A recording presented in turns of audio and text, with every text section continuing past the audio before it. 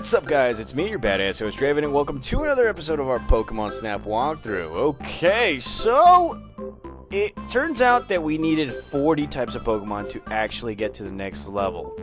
I had to go to a few different places, take a few different pictures, get out of a few different places real quickly. And now it is time, finally time to go to the next course. So let's go right ahead and open this course up, and that is this river is rapid. I'll have to do, or I'll have to concentrate hard, or I could miss a good shot. This place is pretty much the devil of this whole this whole game right here because you're riding on water. You have no control whatsoever, and there are different kinds of Pokemon that just come out through uh, through the water right here. As you can see, we're starting to see some shells, and look at that. Oh, damn. Oh, damn. You see? You're missing a few good things right here. And, well, I'm to I'm to unlock a few things and yeah. Oh, wow. I, I completely There we go. Okay. There we go and there we go. Oh, wow. As you can see, these Pokemon are merciless when it comes to uh, taking pictures. I really do suck at this level right here. There we go.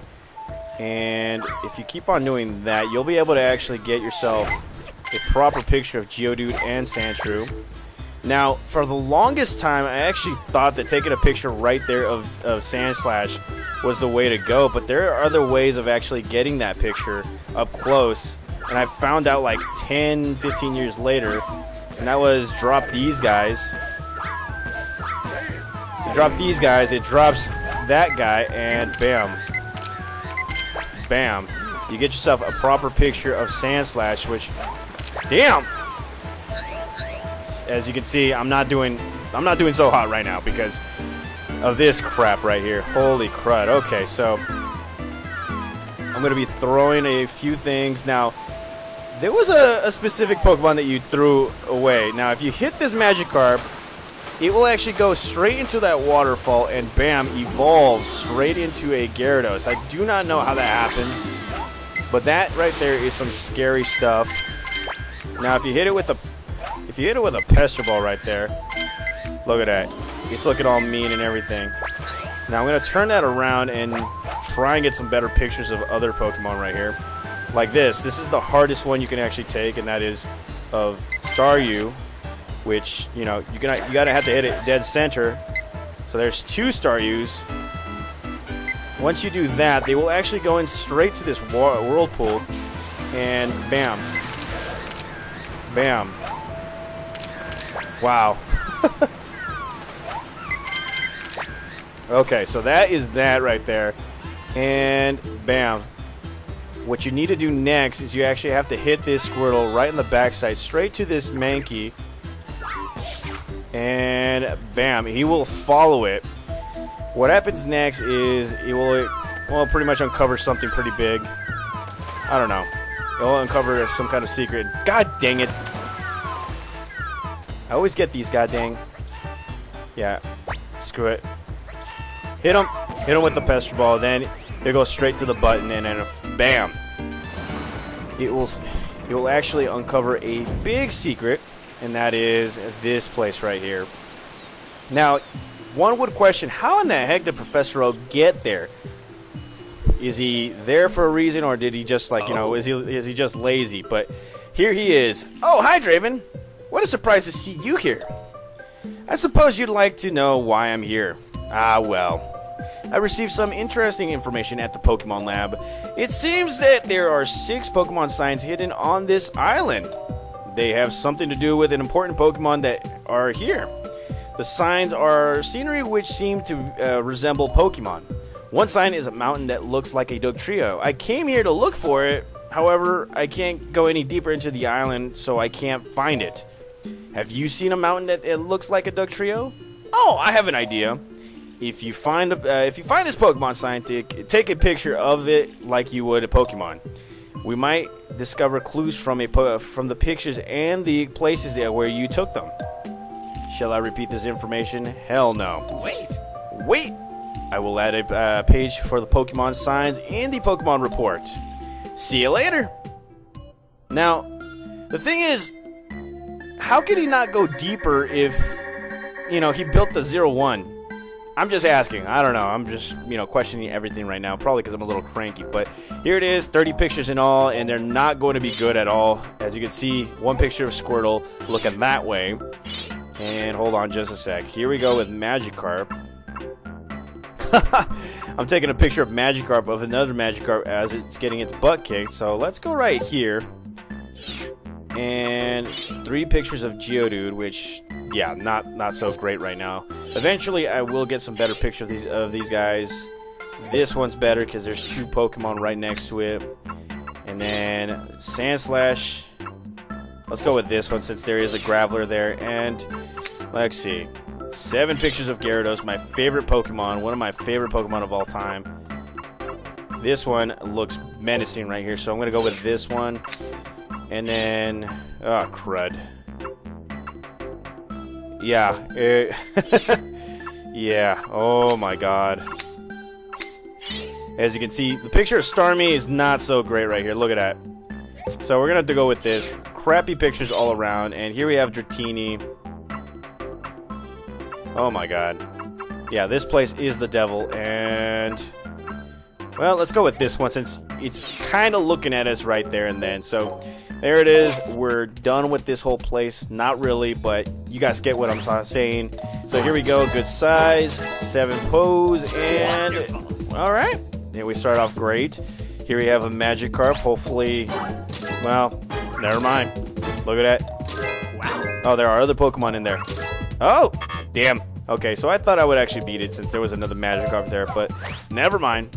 So here we go with the Sandshrew, and this Sandshrew's getting some good points. Wonderful. Good loving, alrighty. And then we got Geodude going big, going strong, and bam. Alrighty, it's wonderful. And look at this, a proper picture of Sandslash. It's a little small, but it's okay. It's much better than what I used to do when I was a kid right there. And then here we have Gyarados all mad. Oh, look at that. It looks scary. Double for me, and yes, we get 3,700 off of that. This is where it gets shitty. Look at that, 330. Pose is bad. Yeah, look at that. You were close, but you see, it's it disappoints Pokemon to be photographed from behind. Yeah, well, when you're in a freaking tidal wave, or not a tidal wave, but a, a fast current, you're not going to be able to get some good pictures off that. Good God, Professor Oak. And, well, this is probably going to be the worst. Look at that. Oh, wow. Should have been perfect if the Pokemon was in the middle of the frame. So, two of the crappiest pictures. Staryu and Starmie, may you guys die in a fire. So here we go, Dratini. Hopefully this one's a little bit better, and... Well, Wonderful. it gets 2,000, but the pictures that I could have taken, man, it would have been better. And because of this, bam, you get yourself a Weight Draven, and we're going to talk to Professor Oak right here. Now, he's going to be like, here's something to make your search uh, for Pokemon signs easier. Wouldn't it be great if Zero One moved faster? Well, now you can move, use the Dash engine if you want to go faster. It's easy to use. Press R to make the Zero One move faster. Shall I repeat this information? Heck no. First of all, see the Pokemon sign page. Okay, so now that we've uncovered Professor Oak over at the Valley, he has added a Pokemon sign page. This is actually a page for six signs that are throughout the island. Very easy to find. You guys just you guys haven't realized it yet. Now, when I was a kid, it was very difficult for me to actually find these signs because it was like there was no internet back in the day. Was well, there was. It's just you needed to get permission, or we just didn't have it. And the way you found these things, or the way you find all these signs, is through the schoolyard. You talk to the people who have this game, and they'll they'll obviously tell you, oh well, this well if you do this, you'll find this. If you do this, you'll do this. And this is where like this is where you get some clues, or you get some uh you get some lies about this game like oh you'll be able to find Mewtwo the actual Mewtwo or you know these other different Pokemon you can get all 150 Pokemon on these games these are some of the lies that I've been given so let's go ahead and take a look at you know these signs so as you can see right here It is said that somewhere on this island is a mysterious group of huge rocks. Surprisingly, if you look at it from a certain angle, it appears to uh, be a Pokemon shape. Okay. The next one is when lights shine on an object, its shadow will appear on the wall behind it. Somewhere there is a shadow that looks like a Pokemon. Cool. This one right here, smoke changes its shape and some shapes look like a Pokemon. Where can you find smoke? You already know. This one right here, you have you heard of a tree near the river in the jungle that looks like a Cubone? No one knows who planted it, but I heard that someone has seen a, has seen the tree. It's a mystery. Shining brightly somewhere, that's all I know about this. wow, thanks. And the final one, somewhere in the middle of the steep mountains is a mountain that looks like a Pokemon. I went to the valley to find this mountain. Yet you didn't make another uh, another zero one vehicle. I just Jesus criminy. Okay, so th these are the six signs of the uh, of Pokemon Snap.